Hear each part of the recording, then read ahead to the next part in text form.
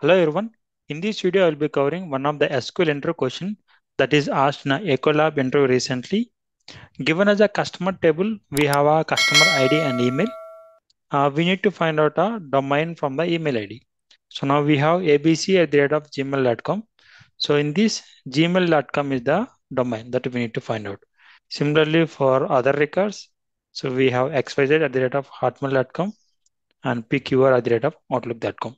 So from this, we need to extract our domains like a gmail.com, hotmail.com, and outlook.com. So this is the expected output we need to find out. If you know the solution, please post in the comment box and also watch the video till the end. There was a one more counter question asked from a panel once this question is asked. So we'll cover that question as well. So let's get started. We have a customer table here with the ID and email. We need to extract only domain from these email IDs. So maybe I will be using here substring function. Basically substring function extracts some characters from a string. So some characters in the sense from the email ID, we required only some characters that is a gmail.com, hotmail.com, outlook.com. So this kind of uh, some characters we required. So we'll be using a substring. We'll extract uh, these things. So we'll see step by step how we can extract it. So starting with a substring. So let us say I'm giving a substring here. Let's see how substring function works. So inside substring, we need to pass uh, parameters. The first parameter we need to pass as a uh, string value. So string value in our case is email. So these are all the email IDs. Maybe I will give some test value. We'll test it first and then we'll implement for our table. So maybe I'll give here test at the rate of gmail.com. So this is the string I'm having. So after giving a string, next we need to give is a starting position. So from which position you want to take the characters. So I want to take the characters from G and uh, till dot com. So all these characters we need to take. So we need to give starting position. Starting position is G. So this position, what is the number of this position that we need to give? So if you uh, count it from here, one, two, three, four, five, six. So G is in a sixth place. So that uh, six we need to give here. And then uh, next parameter we need to give here is a length. So the number of characters you want to extract from that, we need to give. So uh, the length is this one. So starting starting here, one, two, three, four, five, six, seven, eight, nine. Nine is the length. So this everything we need to get in the output. So we need to give here nine. So let's execute this one. Now see, I'm getting a gmail.com. But if I give a length incorrectly, maybe if I give here 7 and if I execute this one, now see we are getting gmail.c only. So till here only we are getting output. That is the length. Whenever you are giving a length, make sure you are giving a proper length. So you should not be less than that. But if you give more length, that is fine. Let us say we are giving a 9, right? So in case if I if I give 10, this also works. Okay. If I give 100 also, it works. Okay, so basically the, the length should be greater than this one, but should not be less than that one. If you give less than that, we may lose some characters here. So to make sure this is a giving as a dynamic value, maybe I can give as a length and the length of the email ID I will give.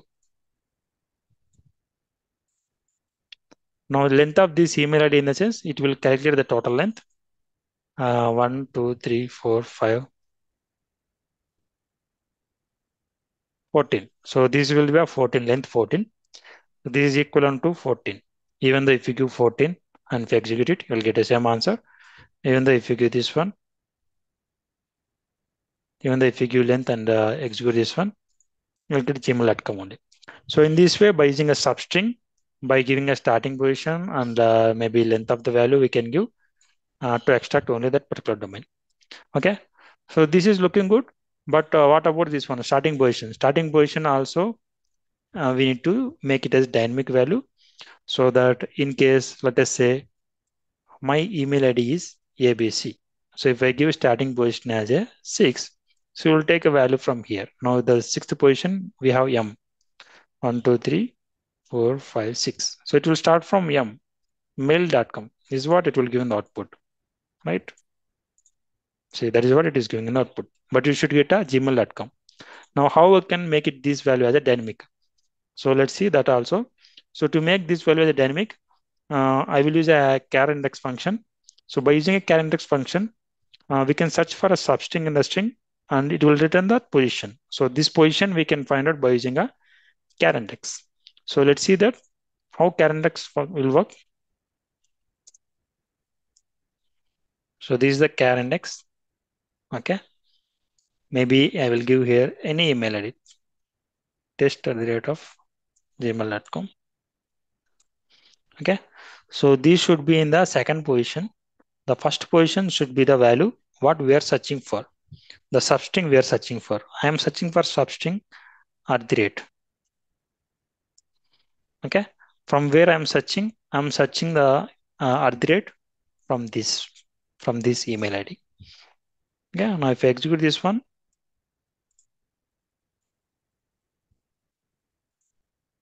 now see I'm getting a five, five as a position, but this five we are having as a one, two, three, four, five. At the rate we're having. So we need to give here plus one so that it will take a G as a next position.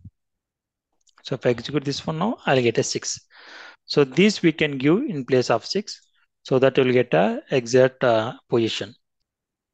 So let us say I'm testing this for another email ID, maybe at the rate of gmail.com. And if I run this one, I'm getting a five. So in this way, we can get uh, the position number by using a char index. So now I'm going to include this char index value here. So this will give a starting position. Now we are good on this. So by using a substring function, we will be extracting uh, some characters from a string. So based on the string, uh, this is the starting position and uh, this is the length we can give. Okay. Now in our table, we have a email column, right? So we will replace all these things with email. So wherever we have given a test email ID, we'll give here email. So now it will take the emails, each and every email, and we'll check for a char index wherever we have at the rate. So here also it should be email only. So wherever we have rate available in our email column values, it will check for that plus one. So that will be our starting position and length. So length also should be for email only. Okay. I will give this as a domain from our table now.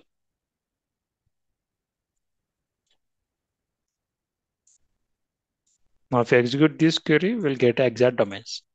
Now see gmail.com, hotmail.com, outlook.com. So in this way, by using a substring function and char index, and also by using a length function, uh, we can able to extract only some characters from a string that is a domain. After this question is asked, uh, there was a counter question from panel. So we'll see what is that question. Next question is asked is check email is valid or not. So I request you to try yourself and provide answer in the comment box. But I will give a hint. So whenever you're checking for email ID, if the email ID is valid or not, we need to uh, make sure we need to follow some rules. So what are those? So it, email ID should contain at least one at the rate and one dot. So for example, if you take at the rate of gmail.com, at the rate is there, dot is there. Similarly, at the rate of outlook.com, at the rate is there, dot is there. So that's that condition should satisfy. And you should not have two at the rates. So in email ID, we will be having only one at. You should not have two. And next thing, you should not have two periods. Two dots should not be there. If we talk about at the rate of gmail.com, we can see only one dot is there. So we should not have two dots. And next thing should not have at the rate and dot next to each other. Uh, at the rate dot dot at the rate. So both should not have next to each other. That also we can check. Next thing should have some characters before and after at. And also after that also there should be some characters. That also we can have and check. And should not have invalid characters. There will be some characters uh, it, it cannot allow to create an email ID. So we should not have that uh, invalid characters. Okay. So based on these rules, we can check if the email is valid or not. Maybe I will provide my solution in the comment box and I will pin it. So you can check it later. That's all for this video. I hope you like the video. Please like the video and subscribe to the channel for more such kind of intro questions and answers.